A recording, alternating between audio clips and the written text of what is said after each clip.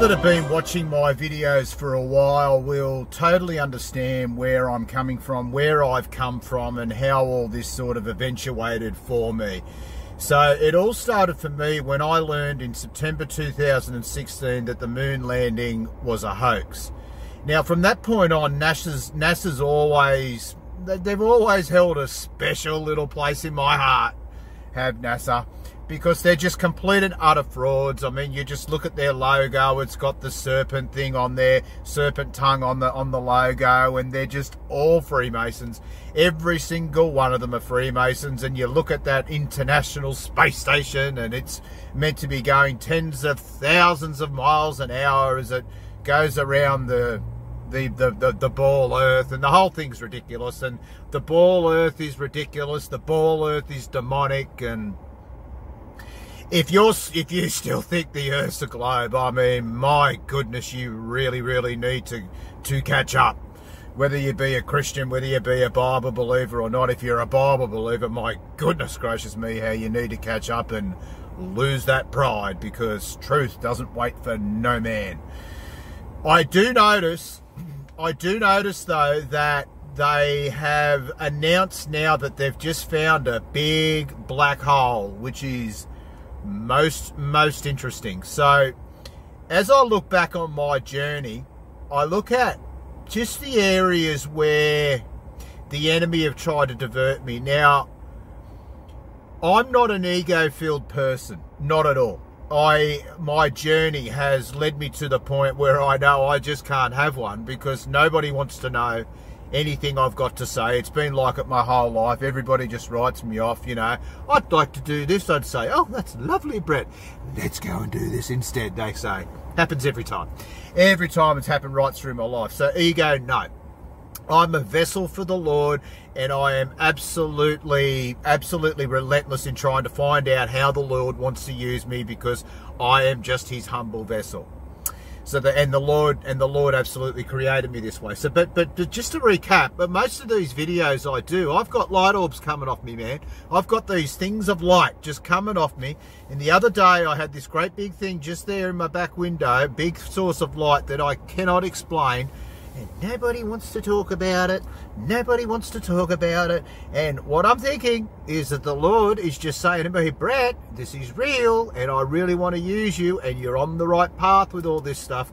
Stay true. Stay true. Stay confident. Because I've taught you your whole life that people have been telling you you're wrong, where it, where it works out most times that I'm not wrong. I have been wrong, you know, plenty of times, don't get me wrong. But, but, most of the time when I'm absolutely resolute on something, I turn out to be correct. So the Lord, the Lord is showing me a lot of things at the moment. Now, one thing that the enemy did show to me, Forza, Forza was the first one from the from the Lodge of Massachusetts that came to me when I first started reading the Bible uh, in December. There, he was the one that was guiding me, just helping me along. He was just making sure I stayed on track. And as soon as I brought up CERN, Forza was like, no, no, no. Don't worry about that, Brett. And he come up with this same old line, same old line that the enemy do is just worry about the kingdom of the Lord. Don't worry about what the enemy are doing. Hmm.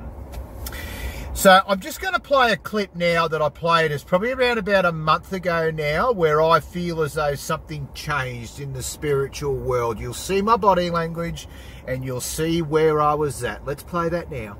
Oh, my brothers and sisters, can you feel it too? Uh, it's just something's happened. Something's happened. Something's changed.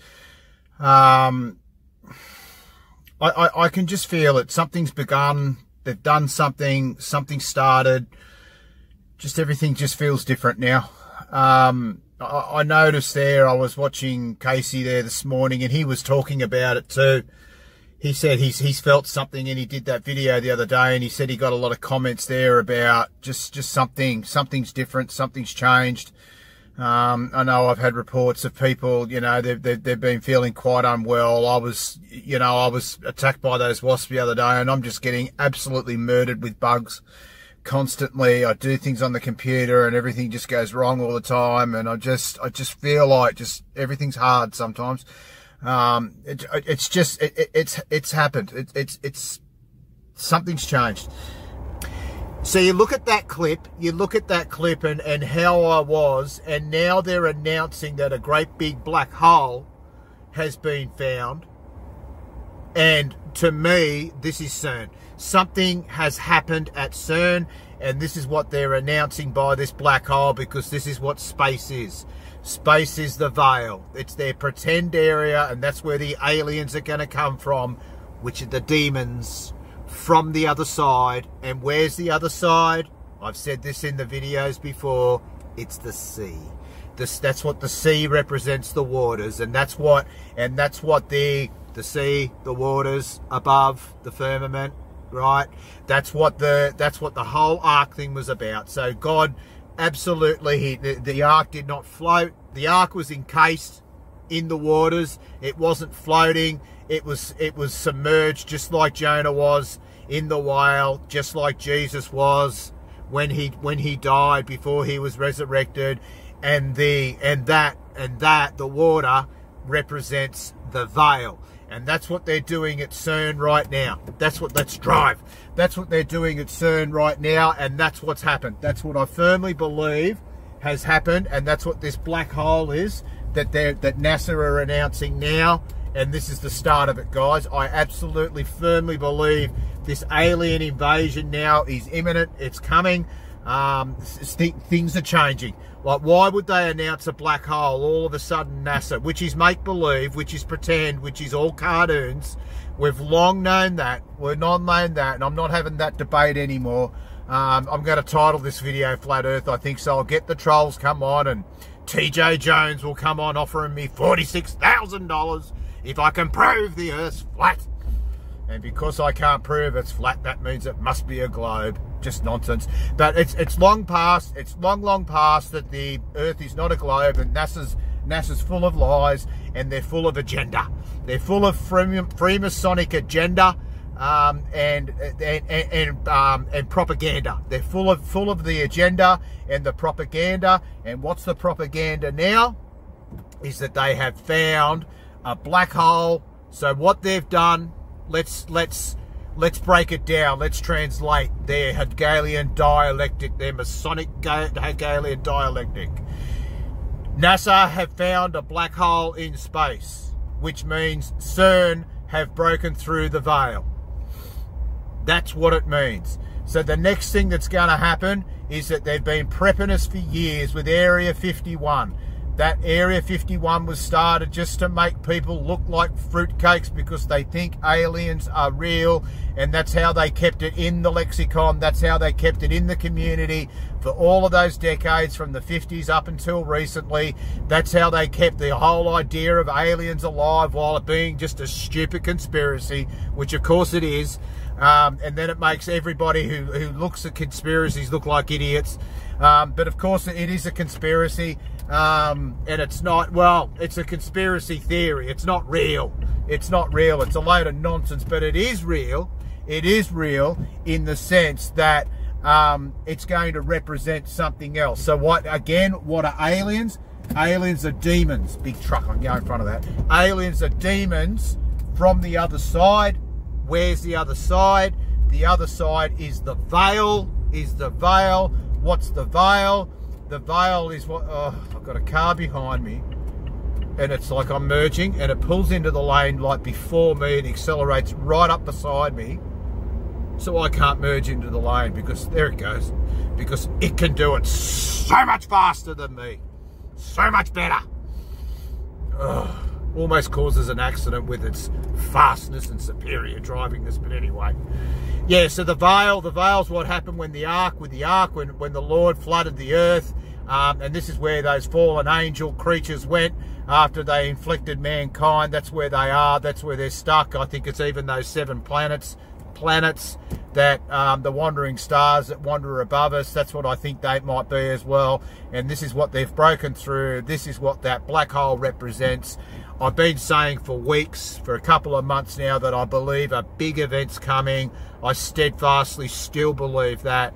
And I will say to you now, watch, just watch for stories about aliens, some sort of alien invasion, because what better way, what better way as Ronald Reagan said in the 80s, to the United Nations, which is just Switzerland in disguise.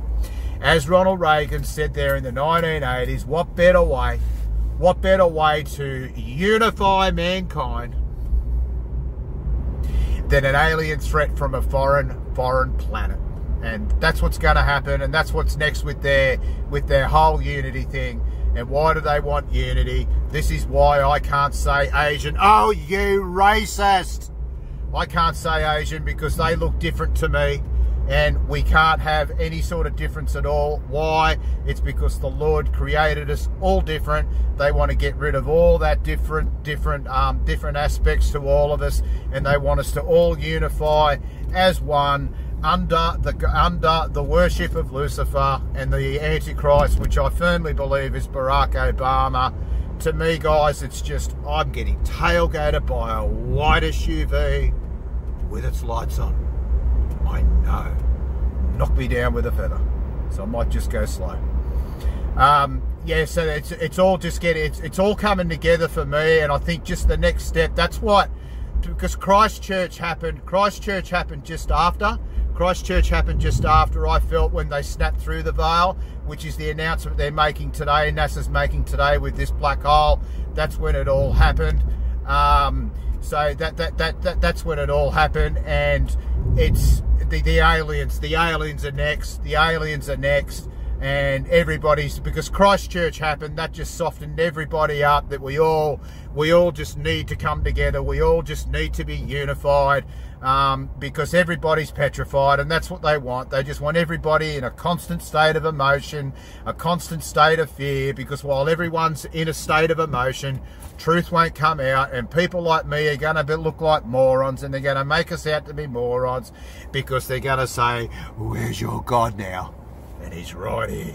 He's right here with me. I've just reading through the book of Acts, the Holy Ghost. Jesus talked about the Holy Ghost. And man, am I very, very well aware now of exactly what the Holy Ghost is. Oh, yes. So that's what's happening. So watch for aliens. That's the next big big thing. There could be another event coming to unify everyone. And you just look at that Jacinda Ardern. What did she do? She whacked on a Muslim garb, and everybody just goes, what wonderful leadership what wonderful uniting leadership and what's and what's devoid from the what's devoid from the conversation apart from making the gunman out to be some crazy christian is the lord the lord's just not there it's just their hegelian dialectic and everyone's fallen for it but not us who are in the body of christ all right my brothers and sisters we live in dark dark times we need to get closer and closer and closer to the Lord as the days go on. And as I always say, look at your journey, look at how you got here, and that's the spiritual war. All of those people that have played a role in your life previously, this is the that, that have kept you from the Lord, and then those very few people that have brought you, tried to bring you closer. I like to think I'm one of them that have tried to bring you closer. Just look at it all, and this is the spiritual war, guys. Look at everything through the eyes of spirituality, and everything that happens is the will of God and Satan trying to prevent the will of God. Once you do that, it all starts to come together. And the Bible, you start to read it through spiritual eyes, and it all starts to look different. And everybody wants to argue with you because they're saying you're wrong. In any way, that's all good. People can argue with me all they like. And if I find out that I am wrong, I will repent. All right, my brothers and sisters, all power and glory goes to Jesus slash Yeshua, the King.